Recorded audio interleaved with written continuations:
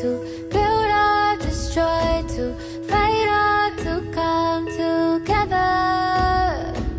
Love is a bridge and trust is a gift. We give it and it gets better. There's an energy in the water, there is magic deep in our heart. There's a legacy that we honor.